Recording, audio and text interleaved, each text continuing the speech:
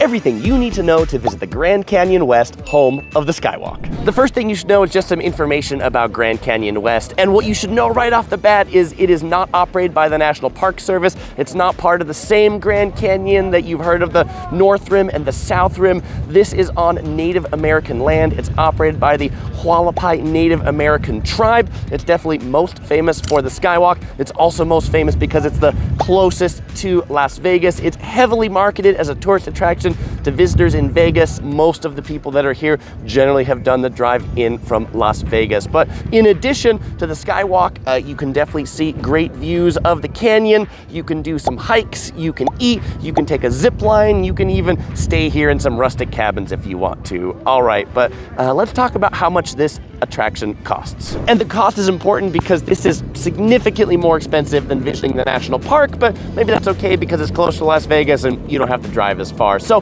the prices I'm gonna share with you are approximate because they kind of change depending upon the date, but on average, the general admission to come in is $50. That gets you in the door or through the tent that we'll see in a moment. Uh, if you want to go on the skywalk, that's an additional $25. If you want to take a helicopter ride through the canyon, yes, you can take a helicopter ride through the canyon. That's about $300. There's a zip line that's $45 uh, and some other things you could do that the prices range are whitewater rafting expeditions through the Colorado River. That depends on how long your expedition is going to be. Uh, when you do buy your tickets, uh, if you're buying them at home, which I'd recommend because then you don't have to like wait in a long line when you get here, print them out or make a screenshot on your phone because when you get out here to this remote place, you might not have cell phone service. And so really key to have that printout or the screenshot.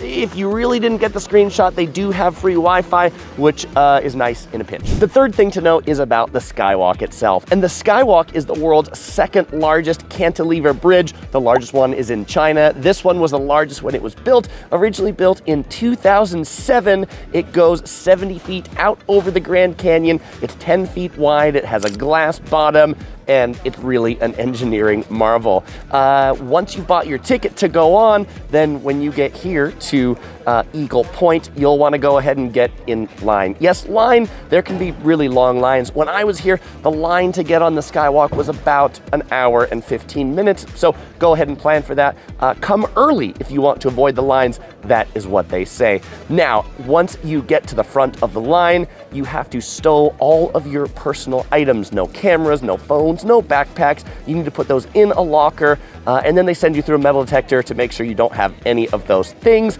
After the metal detector, they have you put booties on your feet. Uh, you might see pictures of the Skywalk back in the day where people were wearing normal shoes. Well, apparently people's shoes were scuffing up the glass so much that now you wear booties. And then you head out there as soon as a photographer is available. What? A photographer is available? Yes, they have uh, Hualapai Nation photographers on hand to take pictures of you. Uh, if you want to buy the photos, at the time I did this video, one was $25 and the set of four they take of you is $50. Now, the view out there, it really is amazing. It's worth it to do it if you have the time. Again, if you have the time, because you're gonna need to plan for that uh, potentially long wait. What's really cool up there is you can see straight down to the bottom, uh, which you can't see off the edge, right? You don't wanna get too close to the edge because you don't wanna fall, but if you're up there, then you don't have to be all that worried of falling. And after they've taken your photos, if that's what you want, if you don't want any photos, that's fine. They'll just let you go. But after you get your photos taken, you can spend as much time up there as you want.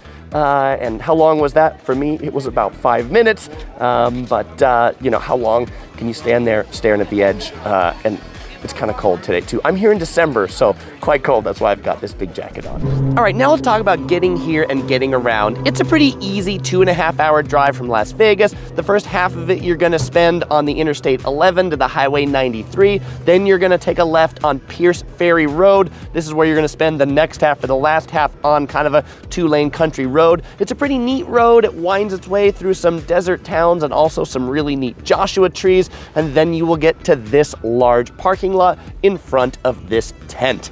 Uh, this is where you will buy tickets if you didn't buy them already, and then you will board a shuttle bus to go to the actual attractions inside. If you don't want to drive here, uh, you can take a tour bus here. There's like a ton of tour operators that'll bring you here. There's a bunch of buses parked in the parking lot right now. But then when you get on the shuttle bus, it's about a five minute ride that'll take you to the first point, Eagle Point.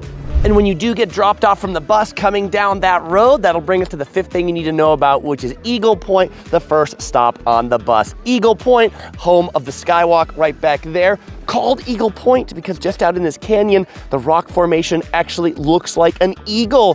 Things you'll find here in addition to the skywalk. In that building, you'll find a gift shop, restrooms, you will find a sit-down restaurant uh, up on the second floor, and you'll find a cafe just out here for quick serve American type food, chicken fingers, hot dogs, that sort of stuff. Uh, and you'll also find some Native American house displays. And then once you're done with the skywalk and you're done seeing the eagle and maybe got some food, it's time to get on the bus to stop number two, Guano Point. And after about an eight minute bus ride that drops you off right over here, we are now at Guano Point. I think the views here are even more spectacular than Eagle Point because you can climb up to these rock outcroppings and you can get 360 degree views all around you, including of the Colorado River right back there. Can you see it? If I'm tall enough, Colorado River right back there. Uh, in addition to the views, there's another big rock outcropping you can get to over there. There's a hiking trail you can take down to it, and then you can see the remnants of the guano mining operation. What's guano? Guano is bat poop, uh, which is rich in nitrogen. In the 1950s, for about 20 years after that, there was an operation here that mined the guano, which is really good for fertilizer at this point. Uh, from the restaurant back here. When it's operating, they serve uh, like pulled pork barbecue. Uh, right now it's under construction, so they've only got cold food like chips and snacks and drinks. And at the shuttle stop to go to the final stop, Hualapai Point, there's a little market out here where they're selling Native American trinkets and souvenirs out here on Christmas Day. Uh, so probably why there aren't that many of them, but there's a lot of tables and maybe more vendors on other days. Oh, and as it turns out, the shuttle bus actually doesn't take you all the way to Hualapai Point. The shuttle bus from Guano Point brings you back to where you started at the visitor center. And if you want to go to Hualapai Point, then you drive your car there. So no admission to go to Hualapai Point. So I'm gonna get in my car and head over there. And after a quick five minute drive, it brought me over here to this pretty small parking lot in comparison to where I just came from, there was like nobody here. Uh, this is definitely like the newer attraction, I would say. There are signs that say general admission required, but there's nobody here to check tickets. Maybe if it's busier. Uh, it is like an old Native American town. Over here, there's uh, the zip line office. You can rent bicycles. There's a restaurant down here that we'll check out in a minute. There's a hiking trail off there in the back. There's a gift shop, restrooms. There's a shooting gallery right here. And finally, you can stay at cabins at the Grand Canyon West. There are these rustic cabins. They start at about $200 a night. Uh, they also have RV hookups around here. Those are about $20 a night. And uh, they also operate a lodge, the Hualapai Lodge, but don't confuse it because it's actually about two hours away from here near the Colorado River. Great if you're going for a rafting expedition, not great if you're here to see the actual Grand Canyon West. But now I think the coolest thing of Hualapai Point is the Native American restaurant where you can get a Native American taco. This is on fry bread. $25 gets you the taco plus a drink. That's just everything's $25 here.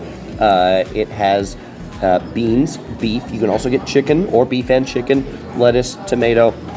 Get it with some salsa. I've never had a taco this big. Mmm. Oh, good. The chicken side. Oh, and I took a bite out of the beef side here already.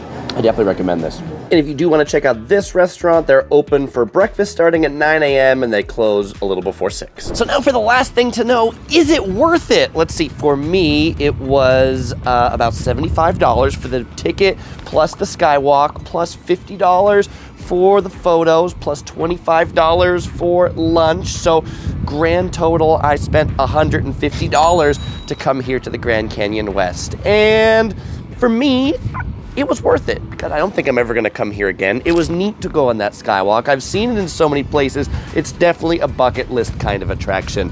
I could also totally see how that could all very much add up if you have a big family. I also don't know that it was worth so much that I want to come back here again. But uh, for you, if you're considering visiting here and you're in Vegas uh, and you're looking for a day trip that you don't have to stay overnight, you can come here and you can go back, then I would recommend it to you.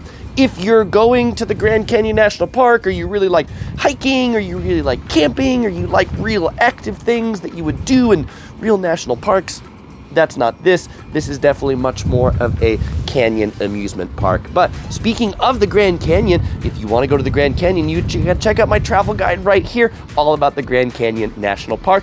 Or if you're going to Vegas, check out my videos on Vegas right here. As usual, I won't say goodbye because I'll see you in one of those videos.